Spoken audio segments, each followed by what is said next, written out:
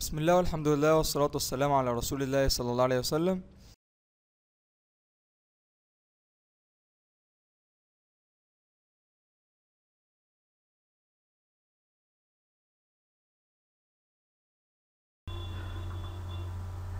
خطوات تنفيذ الحطة الحديد.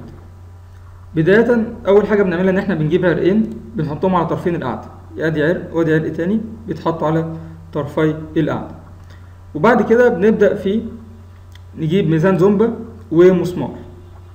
نجيب ميزان الزومبا ونحطه على العرق وناخد علامة وبعد كده نحط مكان ميزان الزومبا المسمار بالشكل الموضح أمامنا بعد ما. طبعا الكلام ده أسفل الخيط اللي إحنا شادينه عن طريق الريجة يبقى إحنا كان عندنا ريجة وادي الخيط متثبت في مسمار الريجة خيط متثبت في مسمار الريجة وبعد كده شدينا جبنا ميزان زومبا ووقعنا مسمار أسفل الخيط مباشرة خيط الريجة على العروق.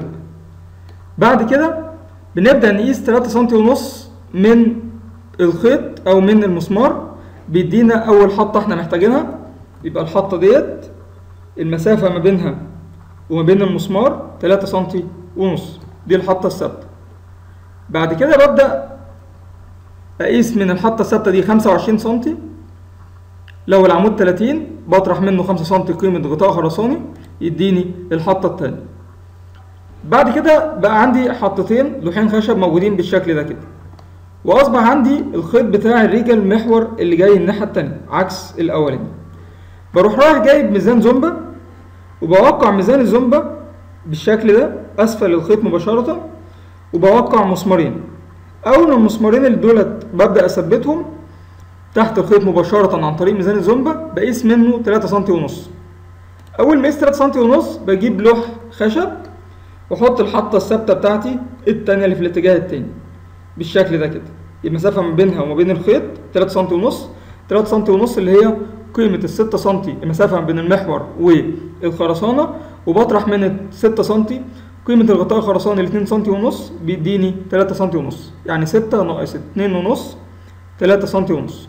بعد كده العمود ستين سنتي بطرح منه خمسة سنتي قيمة غطاء خرساني بيديني خمسة وخمسين سنتي بجيب منهم الحطة التانية.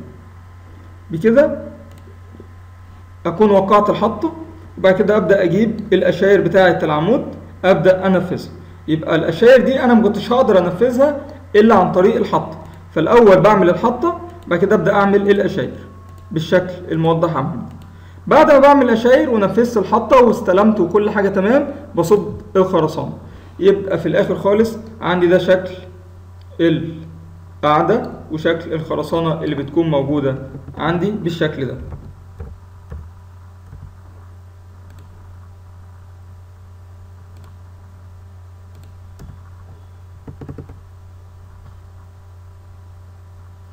ما كنتش هعرف أوقع الاشاير من غير الحطط الحطة دي اسمها حطة حديد وظيفتها توقيع الأشاير الحديد اللي موجودة داخل القاعدة بحيث إن الأشاير دي وظيفتها ربط القاعدة بالأعمدة وبكده نكون انتهينا من الحطة الحديد ولن نستخدمها مرة أخرى في المبنى. بعد كده هنستخدم حطة اسمها حطة تجليد في كل مرحلة وهنتعرف عليها إن شاء الله.